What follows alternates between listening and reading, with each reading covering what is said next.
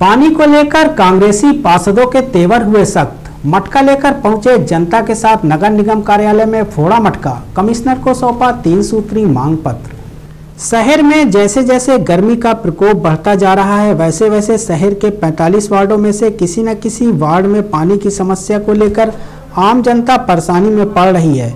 वैसे भी इन दिनों नगर में पानी की किल्लत बढ़ी हुई है, जिसके ठीक होने के आसार अभी एक दो दिन नहीं दिखाई दे रहे हैं। ऐसे में मोहल्ले में पानी का अभाव होना तय था।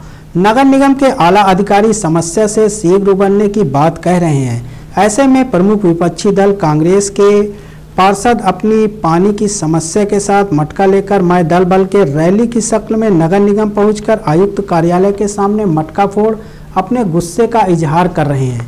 वो चाहते हैं शहर के प्रत्येक वार्ड में कम से कम एक हैंडपंप चालू हालत में हो।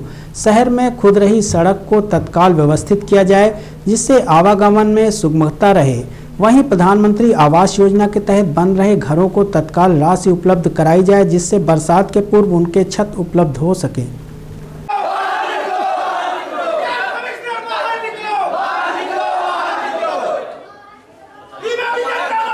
दो पानी दो पानी दो पानी दो पानी दो निज़ाम कमिश्नर बाहर आओ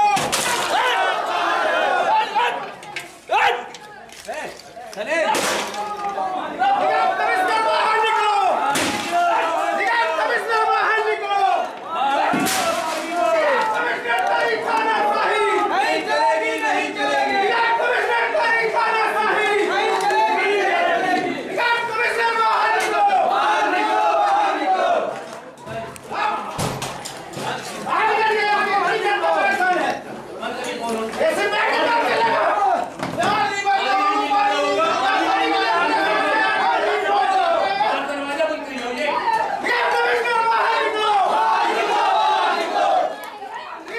निगम द्वारा बनाई गई पूरी रोडें खोद दी गई। थोड़ा सा पानी गिरता है, लोगों को निकलने में बड़ी दिक्कत होती। तो उन रोडों को तुरंत मरम्मत करवाई जाए।